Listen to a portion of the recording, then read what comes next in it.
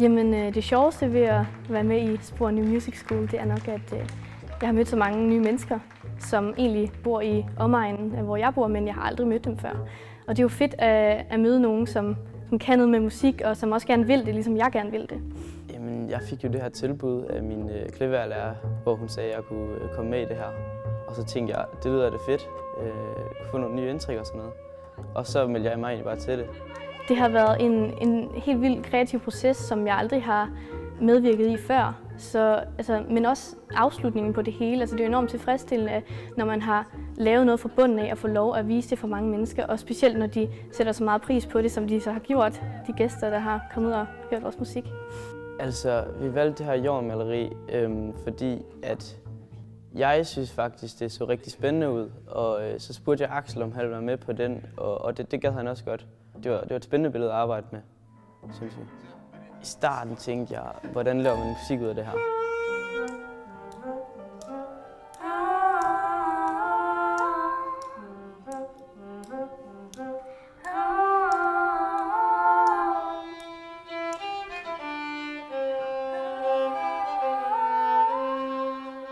Jeg synes, det har været fedt at fortolke Asger Jorns værker, fordi det er jo egentlig nogle værker, som jeg altid har vokset op med, fordi jeg jo bor også i Silkeborg, og så har man jo altid besøgt museet og set malerierne og beundret det. Og så er det jo helt vildt at få lov at fortolke værkerne.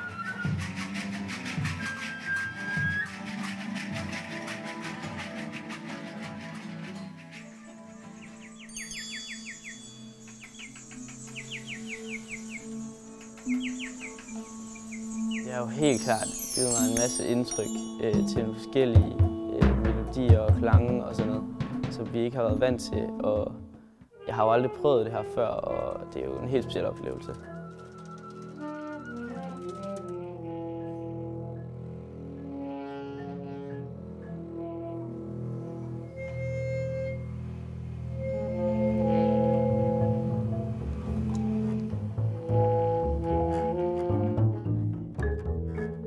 Jamen, jeg tror, at min tilgang til at komponere musik, den er øhm, mindre nervøs, kan man sige.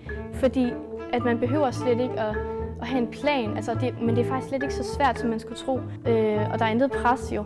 Altså, der er ingen regler, når man skal komponere musik. Det har været en stor hjælp at arbejde sammen med de her øhm, komponister her, som vi har fået fra øhm, konservatoriet.